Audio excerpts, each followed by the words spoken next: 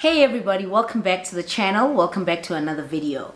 Uh, so I thought about this video uh, idea on the spur of the moment. I was just thinking about what I'm going to record and all of that. And I remembered that around the time that I had a channel with my sister, Beauty Corner SA, if you recall, I did a video that I never really published about my insecurities.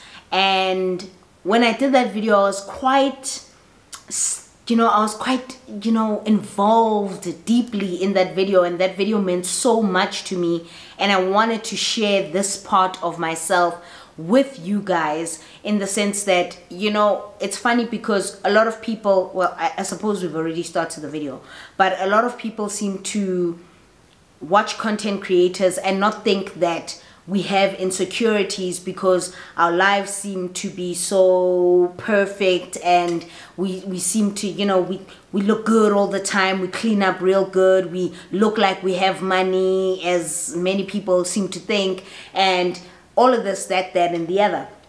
And when I did this video of my physical insecurities, I really wanted to share that side of myself with the followers on my channel to just show that there are parts of me that I really do not like, that I feel like I could fix sometimes.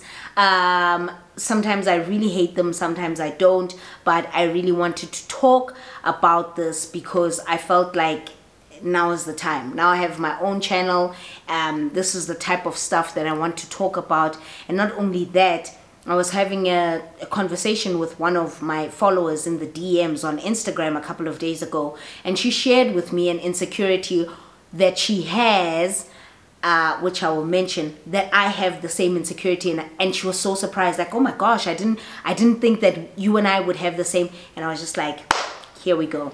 Here's a video idea before we get into that, a quick word from our sponsors. Thank you so much to Skillshare for sponsoring another video. Skillshare is an online learning community with thousands of classes, so many classes for curious um, explorative people on topics including design, illustration, video, freelancing, photography, and so much more. On Skillshare, you and millions of other members can come together to find inspiration and take the next step on your creative journey. I really, really love Skillshare, especially for my content creating journey, because I can look at classes like photography, I can look at classes like videography, looking at lighting, how best to harness my content creation to make it work and beneficial for me. I really, really love Skillshare because it provides whether an amateur or even an expert information to empower you in the Skillshare and skill set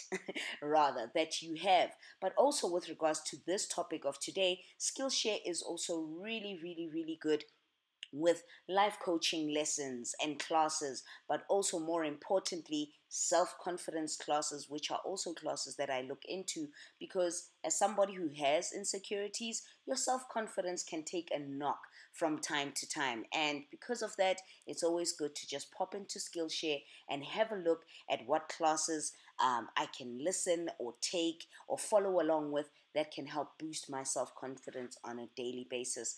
Thank you so much to Skillshare. If you want to know more information on how you can get free membership, please look in the comment section in the description box down below. so, for me, one of the biggest insecurities that I've had all my life, all my life, were my teeth. Like for me, um, if you look at a lot of my pictures on social media, I'll do a little thing of all my pictures on social media not all of them on instagram all of that.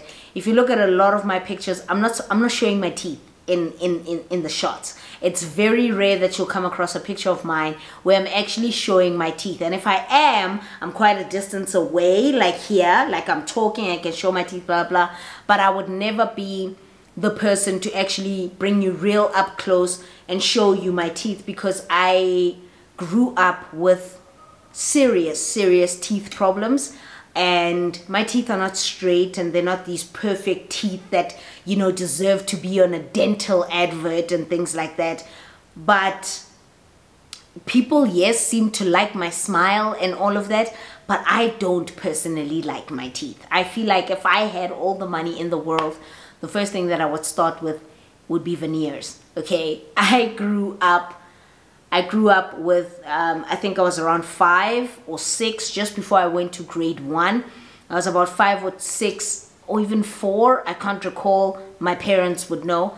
But all my teeth were taken out because they were so all on top of one another that they just looked bad. And my doctor or my dental dentist advised my parents that rather take them all out because they were milk teeth or something like that and rather have them grow again and hopefully this time around they'll grow uh, better and I had all my teeth removed. Oh. I have like this tooth that hangs hangs on the side, which you know I would be teased about, and people would be like, "Yeah, you've got dragon teeth, and you've got this," and it would be it would make me, I mean, cry, feel really really insecure, really uncomfortable.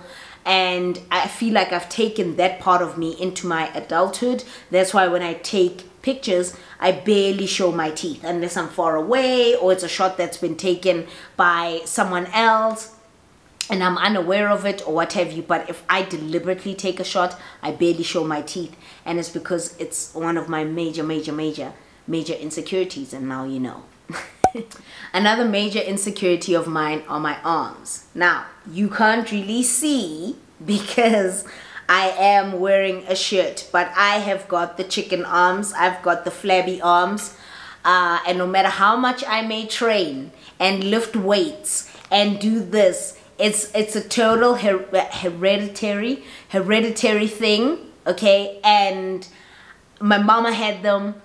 I'm getting them, and no matter how much I may try and train and tone it up and all of that, my chicken arms are always going to be there. So a lot of the time, because of this, it's one of the reasons why you'll hardly ever see me in a strapless top without, um, mm, I'm trying to show. That's why you hardly ever see me in a strapless top without anything like a kimono on top or something like that.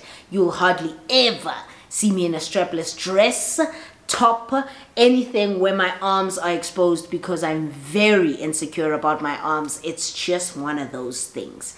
Even when I'm taking pictures, I will um, position my arm a certain way. I feel like me sharing my insecurities, every time you, you see my pictures online or you watch my videos, you're to focus on those kinds of things and it's fine we're all a family here. It's okay. But even when i position myself if i'm wearing a strapless dress like in one of the pictures that i put up on my instagram even if i'm wearing a strapless dress i'll position my arm in a certain way. So instead of leave it like this i'll probably position it like this which makes it look a little bit more slimmer it's all the things that you kind of come up with when you are, you know, when you have insecurities. You kind of make them work for you somehow, especially when, you know, taking pictures or video footage or any of that kind of stuff. For me, that is, um, my arms are a major, major insecurity and they make me feel very uncomfortable. And I feel like if I'm wearing a strapless top, that's all people can see and I don't like that about myself or my arms and it's one of the things that I do not want to show to the world. Uh, the next insecurity of mine are my thighs and everybody who knows me knows this about me. They know that my thighs are a big insecurity of mine. I have lost a lot of weight, uh, probably 26, 27 kilograms of weight. And it's great, it's wonderful, I still feel like I could have lost some more on my thighs. I still feel like when I gain weight, it all goes to my thighs. I don't necessarily have a problem with my bum. I feel like my bum is fine, you know, we're good. It's all right. It's not a big deal and all of that. But I just have a problem with my thighs. I feel like my thighs are too big for my frame. I feel like my thighs are too, they're just, ugh. that's, it's, they, they become the central focus of every shot that I take or every photo shoot that I do and I look at my pictures and I'm like, I don't necessarily, you know, edit and make myself look smaller in my pictures. I don't necessarily do that. However, if I do feel like a picture, uh, there's just too much thigh action in the shot, I will just sort of like I, I won't use that picture. I'll, I I feel like nah, nah. If my thighs are taking over this image, nah, I'm not gonna take a picture of it. And I'm.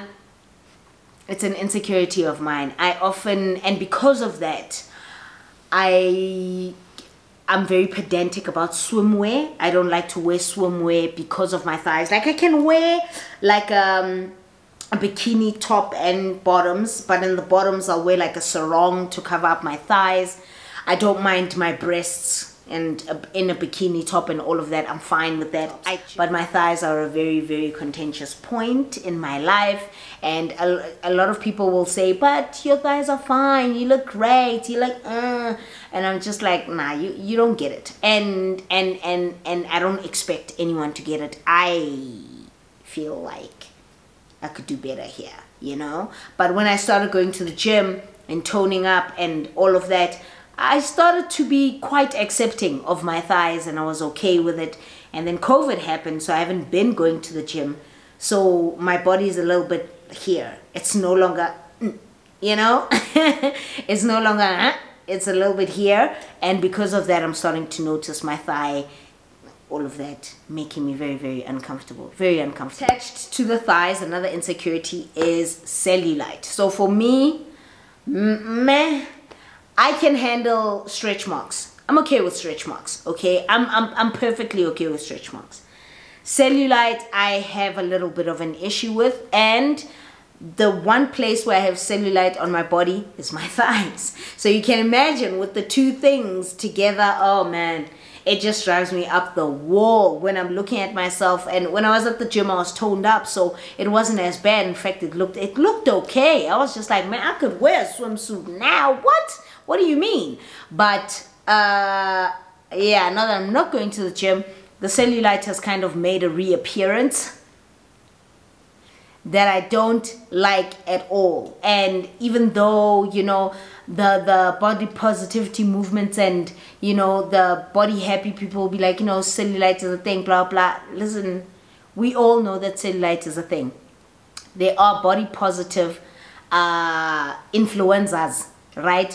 Where they may have body and all of that blah blah, but they will still filter out, especially on their thighs and I can see it as somebody who has cellulite on her thighs. And I see images of somebody who's potentially bigger than me and whatever. And I'm just like uh-uh you filtered that out. Which is fine. I mean for the image for the culture for the brand I totally get that. But for me again it's one of the reasons why I don't wear short skirts or short shorts or bikinis just like that and and just let it hang loose like that I, I don't do that. I just, I don't do that. Lastly, lastly are my hands. I don't mind my hands. I just mind them when my nails are short. Um, I feel like my hands are quite um, small and stubby and my fingers aren't long. But when I have nails on, I feel like it sort of elongates my fingers um, and being older and getting older and what have you you start to see somebody you see somebody's age quite a bit on their neck and on their hands. And for me I feel like my hands are starting to give me away quite a bit. So it may, it makes me a little bit uncomfortable. It's not too much. I put this one last because I'm really not that fussed about it. But I feel like when my nails are long I appreciate my hands a little bit more. When my nails are short, I can't stand looking at my hands. It's one of those things that I'm just like, oh, no, I need to go get my nails done. I honestly feel that way and um, I don't know what it is. A lot of the time, I can't even tell you what is it that makes us have the insecurities we have, apart from saying that it makes us human. There will be parts of ourselves that we just don't like um, but that does not make us any uglier or prettier or whatever. It's is there's really nothing to it. We are human. Of course we're going to judge ourselves a lot especially when we compare ourselves to others. Um, sometimes you're not even comparing yourself to anyone or anything. You just don't like a certain part of yourself. And i wanted to just share that with you guys to just sort of show you that you're not alone in it. I also feel that way. If I could make certain changes to myself, trust me, honey, I would. Starting here and here, I definitely would. Uh, and my thighs and the cellulite. You know, I would make some major, major changes to my body. Um, but then again, I also remember parts of my body that I do love. Parts of my body that make me smile. Like my waist and my eyes and... Uh, whatever else it is that I like about my body that I can't think of now. My toes. So I think about other parts of my bodies bodies that I do love and and it reminds me that you know what I'm human uh, there's certain parts of me that I'm not gonna love but that that that, that doesn't make me any more or less of you know the person that I am you know it it's I'm still going to be me and I feel like what matters is me, who I am, how I feel about myself overall, apart from the little things that I don't like about myself, but just as long as I love myself unconditionally overall, overriding the cons about, you know, myself, then it's fine. You know, it doesn't, it doesn't, um, define me. My teeth don't define me. it doesn't define me at all. My teeth don't define me. My thighs don't define me and all of that. I and I need to remind myself to think about it that way. So I really hope that um, this video has sort of drawn me closer to you in such a way that you can also see that as much as you may have your insecurities, I've got mine too that make me feel some type of way about myself. I mean, what do you even mean? But they do. I hope you guys enjoyed this video. Let me know if you did, if you'd like to see more of these kinds of videos. Also, let me know down below. Uh, subscribe, join the family, and click the notification bell and let me know what you'd like to see from me next. Until then, I'll see you in the next one. Bye!